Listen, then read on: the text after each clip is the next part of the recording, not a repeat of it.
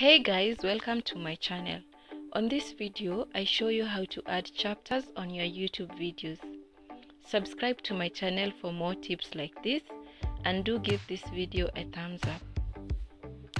Chapters are markers on a YouTube video. So why do you need chapter markers? The markers will guide your viewer when watching your video.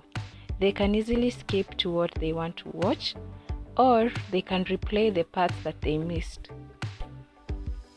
Video chapters help to increase user engagement and also your viewers can easily navigate on your videos without wasting time trying to guess the parts they want to watch. Video chapters are added as timestamps in the description section of a video.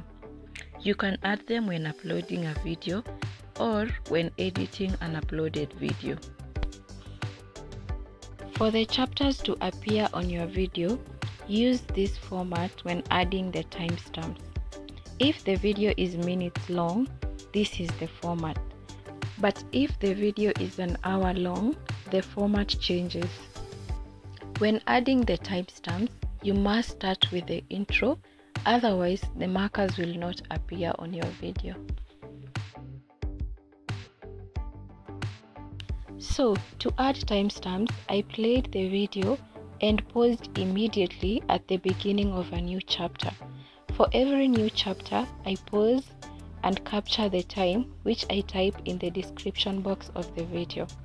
Once I'm done with all the chapters, I saved the changes made on the video.